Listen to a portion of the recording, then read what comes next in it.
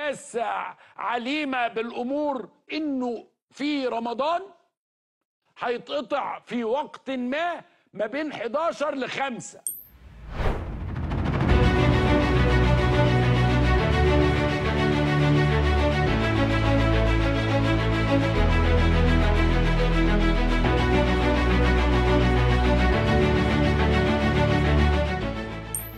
أكيد أنت عارف حساباتك معاك فلوس.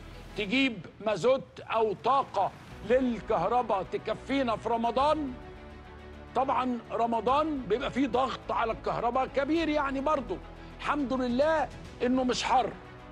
الحمد لله لإنه لو حر طبعا كانت هتبقى الناس يعني مخنوقة شوية صيام بقى وبتاع وكده وكل الكلام. فلو سمحتم قبليها بمدة وخلاص إحنا قبليها بمدة.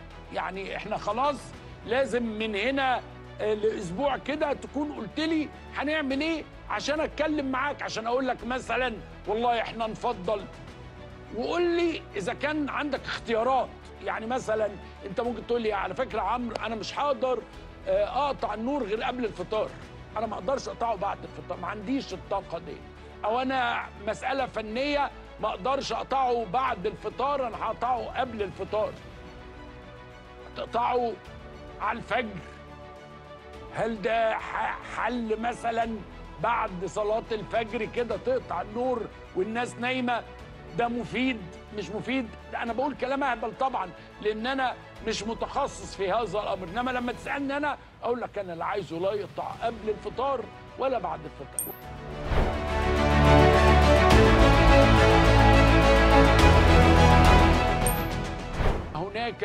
أزمة اقتصادية فإحنا فاهمين هذا الأمر بيحدث ليه؟ ففي اضطرار لهذه المسألة. فبقى إنه في اضطرار اتكلموا مع الناس.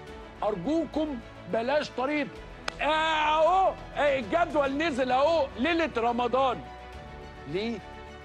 اتكلم معانا كده واسألنا واعمل حوار مالكش دعوة بالإعلام الإعلام وحش. اعمل حوار مجتمعي كده على الصفحة بتاعه وزارة الكهرباء. لهم يا جماعة أنتوا الوقت يعني أنا بقول لحضراتكم لقيت آراء متطرفة جدا. ناس قالوا لك أوعى. لأن هو الكلام إيه؟ يعني ال...